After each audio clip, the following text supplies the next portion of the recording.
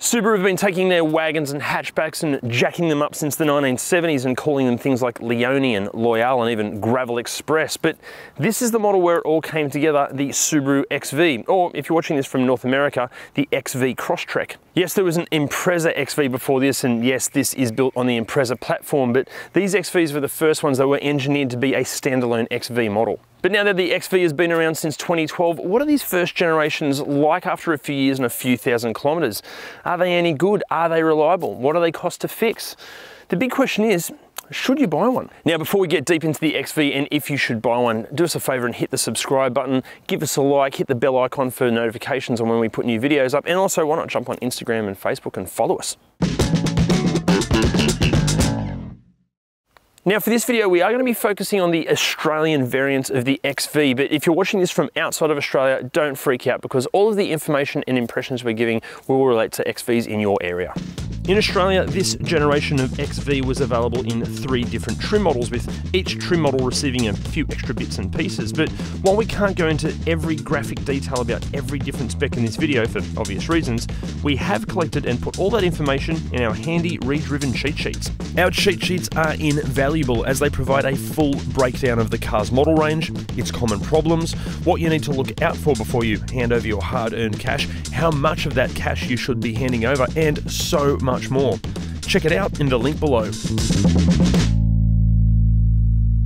Back in 2014, this had to be one of the best looking SUVs on the market. And okay, this is only sort of five years old, but it still looks great. And Subaru clearly thinks so too, because here's a new one and here's this one. They look almost identical, almost like Emma Mackey and Margot Robbie.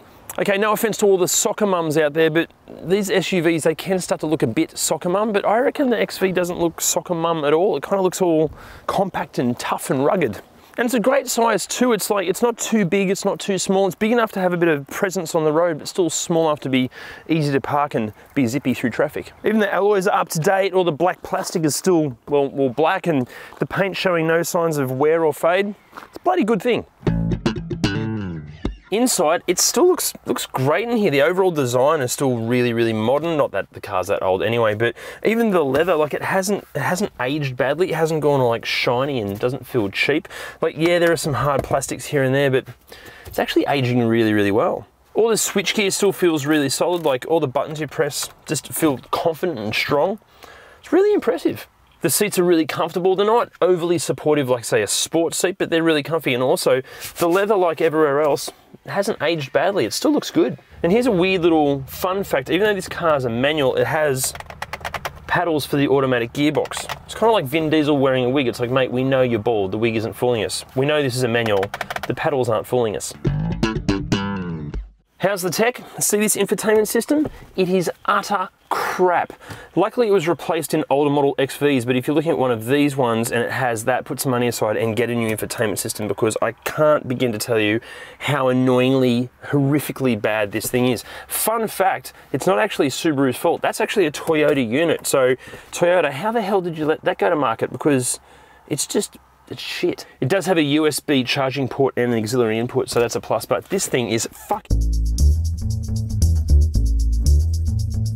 Well, the boot isn't exactly the biggest in its class and it barely fits me, a six foot two tall adult male, but the seats do fold flat, so you should get less wear and tear at the base of the backs of the seats. So the rear seat's not too bad, like it is a small car, but this is in my driving position and there's still plenty of leg room, heaps of headroom, a bit of foot room. There's storage pockets here. You've got door bins down the side that'll hold a decent sized bottle of water. And in the armrest, another two cup holders. It's pretty good.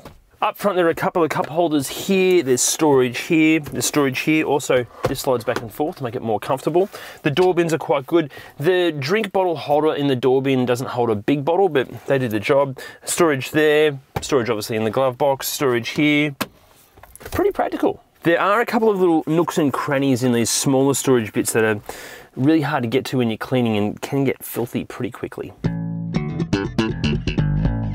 Now, I'd love to tell you how reliable these things are and what they cost to fix and maintain, but the thing is, I'm not a qualified mechanic, but we have a qualified mechanic, so over to you, Jim.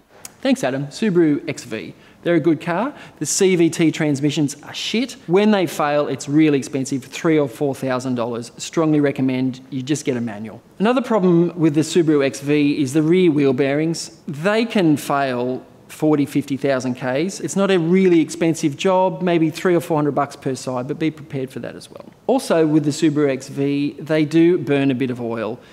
Regular servicing is great, but be prepared to just just check the oil between services. You might have to add half a litre. It's totally okay, but just be prepared to do that. There has been a pretty big recall campaign with these things.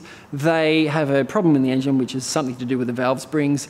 If you're going to get one, just look into it and see if that's been done, just to save you a bit of hassle later on. Besides that, pretty good, solid little car, a good all-rounder.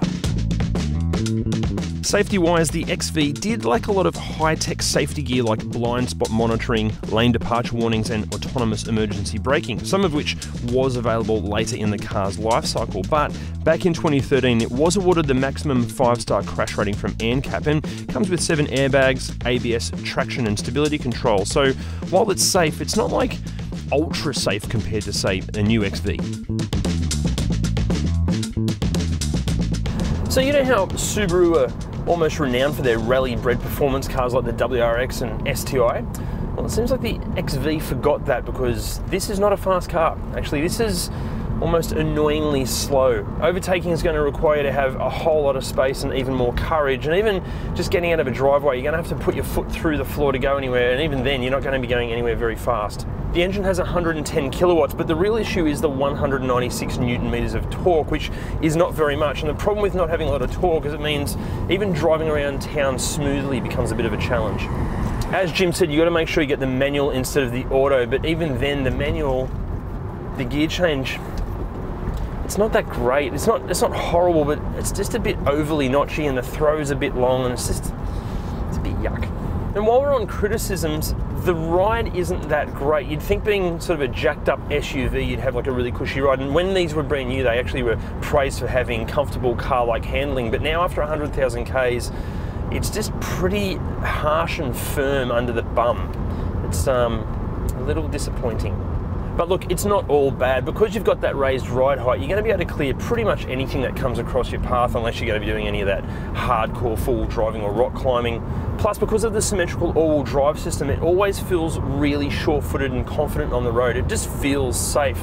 And look, it's not the most driver-focused car out there, but it just gets the job done. And look, this particular car's got a couple of little rattles coming from the dashboard, but besides that, it feels as solid as a rock. And here in Australia, early base model 2.0 I's with north of 200,000 kilometres will be asking around about 8 grand, whereas ultra low kilometre 2017 top spec and pristine 2.0 IS's are still in the very high 20 grand region. While the XV isn't exactly the cheapest when it comes to fuel economy in this segment, all in all, it's a sensible choice when it comes to running costs. The claimed fuel economy figure of around 7 litres per 100 kilometres is being pretty optimistic as we found you have to drive the underpowered engine pretty hard to really get anywhere. But on the flip side, Subaru's almost notorious reputation for dodgy head gaskets in their 2.5 litre engines are generally avoided as the XV is a 2 litre. And being a Subaru, they are a very reliable thing. And you know what? Even if something does go wrong, parts are readily available and they're not all that expensive either. New, the XV came with a three year unlimited kilometre warranty, and servicing should happen every six months or 12,500 kilometres. Keep the regular services up, and you shouldn't have a drama. Yes, but there are conditions. It's a yes as long as you buy a manual and not an auto. If you do absolutely need to get an auto, maybe look at a Mazda CX-5 or a Toyota RAV4 instead. But if you can get the manual, get one of these and get it in a 2.0 IS. See, while these top spec 2.0 ISs were $8,500 more than the base model, in the second hand market you can have a top spec XV for just a few hundred dollars more than a base spec, and with the amount of extras you're getting, it's worth every cent. Just make sure you change the infotainment system because it is uh, sorry about that. Anyway, that was the Subaru XV. What do you think? Would you buy one? Did we miss anything? Let us know in the comments section below.